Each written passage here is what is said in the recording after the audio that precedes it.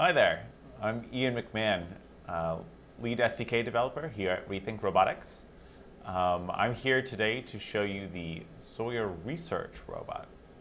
Sawyer has been a proven manufacturing robot and we decided to port the SDK to Sawyer for you guys. So here today, I actually have uh, an integration with the MoveIt path planning libraries.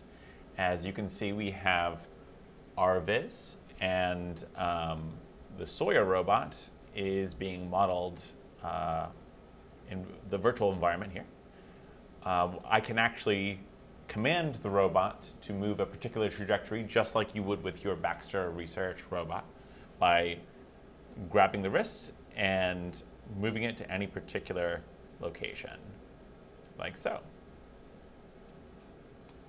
All right, we set our final goal location here and we're going to plan an RRT trajectory to get to that state. As you can see, the planner came up with a path. Should be an obstacle-free path that does not come into collision with the robot. And then we can execute.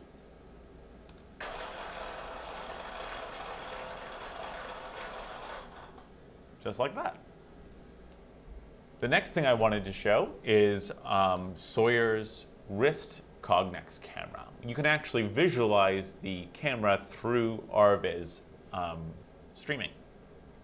So here we have Sawyer's wrist camera actually facing the robot and overlaying the robot's model on top of the physical robot. We can see that by turning off the robot model and then turning it back on to see the overlaid visualization. This is pretty nifty, but it can actually get even cooler.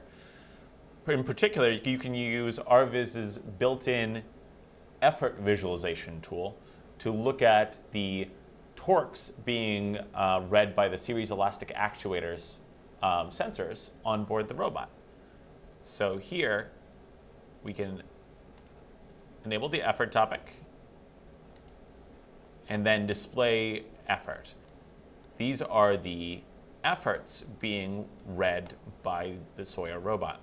If we go back over to the Sawyer robot, we can see right here that each of the efforts is being rendered at each of the joints.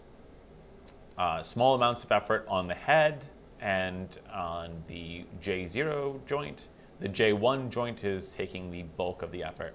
Now, these efforts are actually normalized uh, as they're being displayed over the entire range of the effort of the joints. That's all we've got for today. Uh, thanks for taking a first look at Sawyer Research Robot and the SDK integration with ROS.